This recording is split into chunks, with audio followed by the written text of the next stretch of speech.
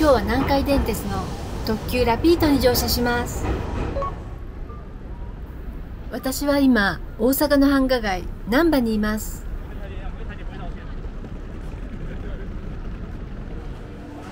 南海難波駅は1日25万人が利用する大阪を代表するターミナル駅の一つです。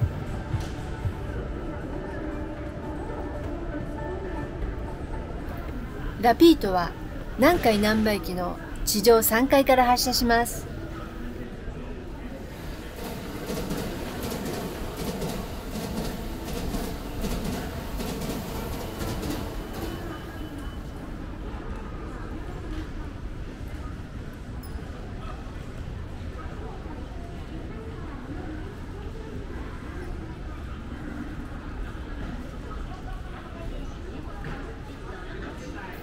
自動券売機は日本語、英語、中国語、韓国語に対応しています。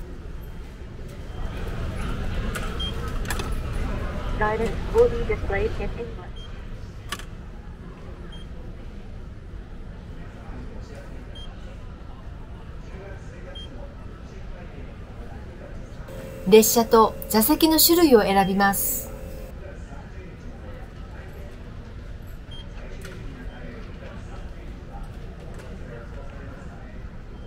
車両や座席も指定できます。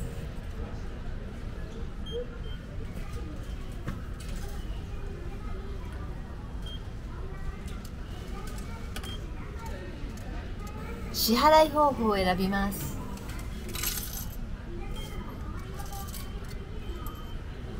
料金は1500円。IC カードで支払います。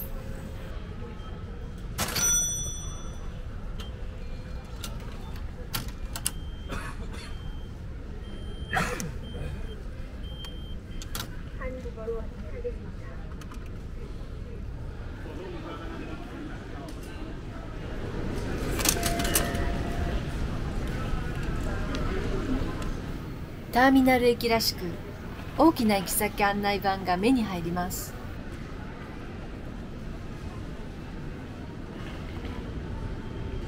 南海難波駅は8つの線路がある始発の駅です。ラピートは一番右端の9番線から発車します。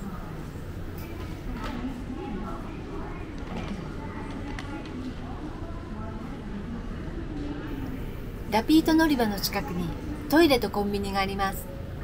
車内販売はありませんがこちらで購入できます。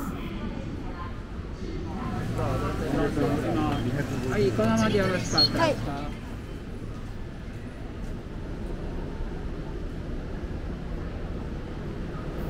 ホームにもラピートの券売機がありました。ラピートはドイツ語で速いという意味。最高時速は120キロです。待合室も用意されています。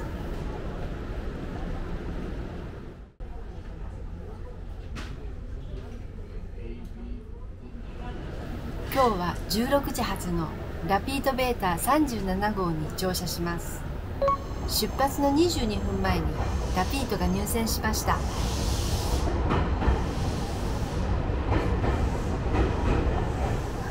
おおロボットのような顔ですね。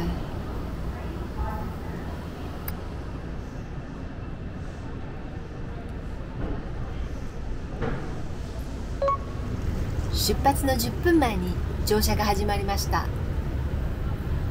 ラピートは全席してこの日は満席でした。1号車から4号車はレギュラーシート。5号車6号車はスーパーシートの車両です。青い車体に大きな丸い窓が並んでいます。今日は5号車のスーパーシートに乗車します。ラピートは車体も内装も楕円形のデザインで統一されています。サービスコーナーは3号車に化粧室は3号車と5号車です。荷物スペースもしっかり確保されています。なんと鍵付きです。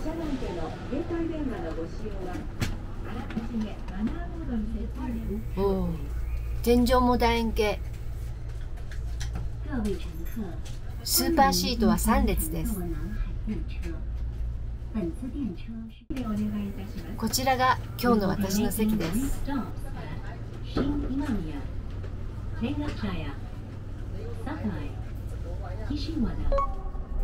ラビートベータ37号は帝国に出発しました。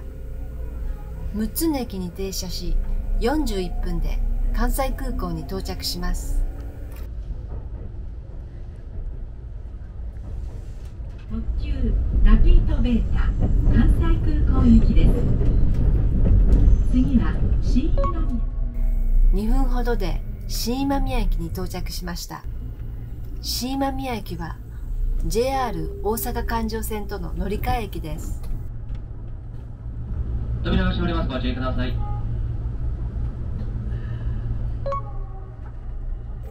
新今宮駅を出発するとアベノハルカスを見ながら天下茶駅へ向かいます天下茶屋 Station number NK05 After Tenga Chaya, we will be stopping at Sakai. 天下茶駅を出発しました天下茶駅は大阪メトロ堺筋線も通っています次は堺です。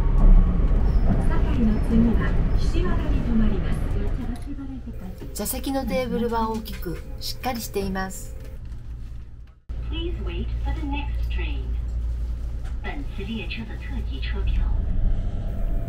肘掛けにドリンクホルダーがついています。座席にコンセントはありません。荷物掛けがあります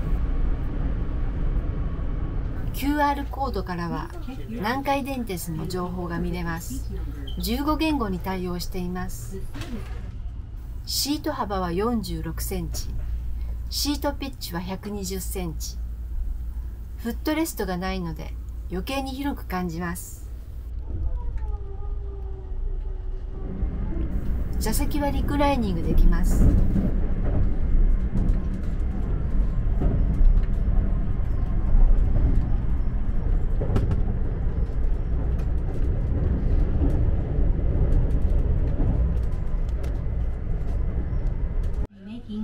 フリー Wi-Fi も利用できます。大和川を渡り大阪市から堺市に入ります。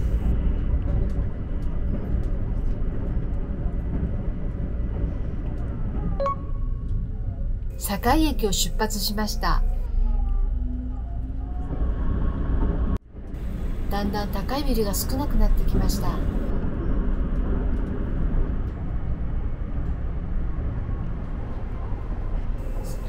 3列のスーパーシートを通り5号車の前方に向かいます。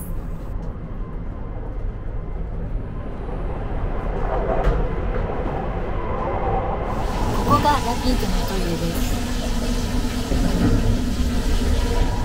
ここにも楕円形の鏡があります。手洗い場もついています。荷物棚や手すりがあります。古さは感じられますがとても清潔です。異常ボタンもあります。独立した洗面所もあります。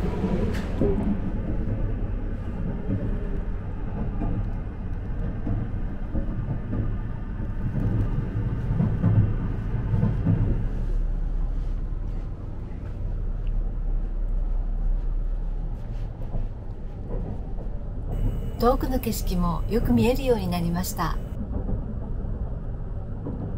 大津川を渡るともうすぐ岸和田駅です。難波から24分。岸和田駅を出発します。線路沿いにも田畑が増えてきました。泉佐野駅に到着。泉佐野市は関西空港の玄関口です。泉佐野駅を出発し空港線に入ります。リンクラインです。JR 線はお乗り換え JR の関西空港線が見えます。リンクータウンの次は終点関西空港です。リンクータウン駅は南海と JR の共同運営の駅アウトレットもあり空港からも近く最後の買い物に便利です。85メートルの観覧車も人気です。ここから関西国際空港連絡橋に入ります。橋の中は3750メートルです。車内から広い海を眺めます。空港が見えてきました。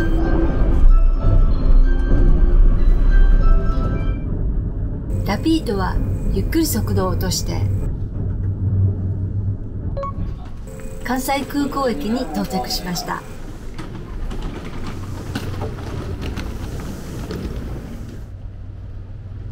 最後にレギュラーシートを見に行きました。ラピートは回送になり車庫に戻ります。お疲れ様でした。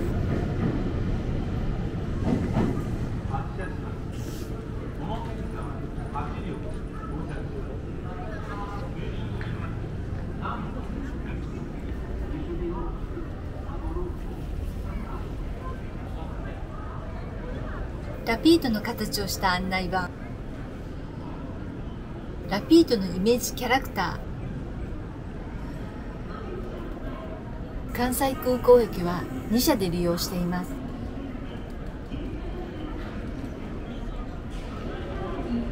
柵の向こうはライバルの JR 線の関西空港駅です。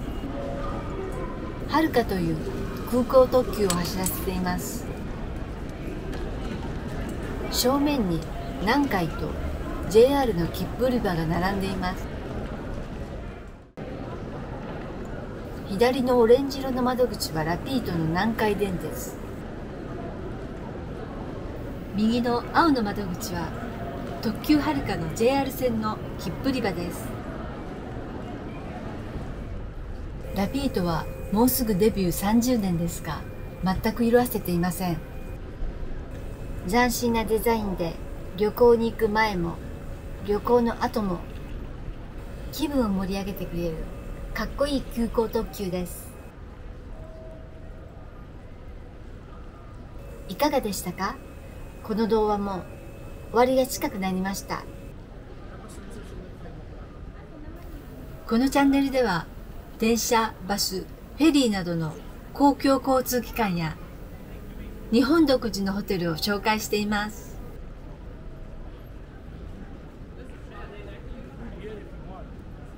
他の動画もぜひご覧ください。